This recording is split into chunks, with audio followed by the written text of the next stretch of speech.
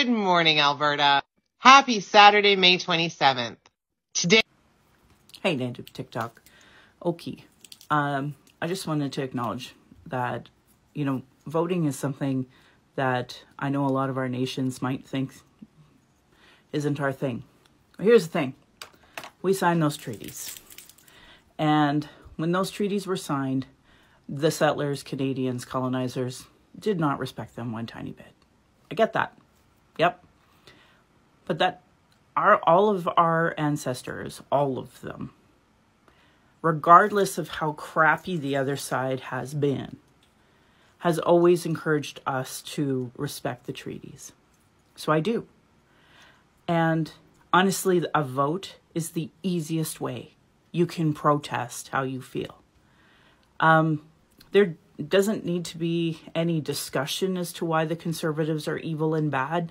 I mean, Harper showed his true colors, launching Idle No More. Jason Kenney was a part of that team. The new premier is a Indian residential school denier, as of most of the team. Uh, they've targeted the LGBTQ2 plus. I don't care who you are, that automatically makes you a Nazi. Now we have two parties in Alberta of Nazis, of uh, Christo, uh, Christo fascism, folks who believe in their Christianity so much that they're forcing it down the throats of everybody, just like they did to our ancestors. The easiest way you can protest this is by going and voting. I am absolutely not suggesting the other parties care about Indigenous issues in any capacity. Anyone who has followed me for years knows uh, my podcast has been open about the racism that we get from so called progressives.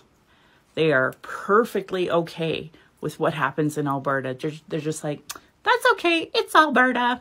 So when the RCMP, when the legal system, when the parties target Indigenous people, they go, oh my goodness, well, that's just Alberta. Because they're progressive and have the privilege to get to do that. So we have to stand up in, in many ways. Voting is the easiest way to go do it. I'm asking you to do the advance poll. You have until the end of today to go. Make a voting plan if you have to vote on the Monday because we need every vote there against the UCP. If you are in a riding that has an Indigenous candidate, please consider them. There's one non status UCPer running. Not going to say vote for that guy because his party's already shown their true colors. So let me know if you voted. I've been encouraging it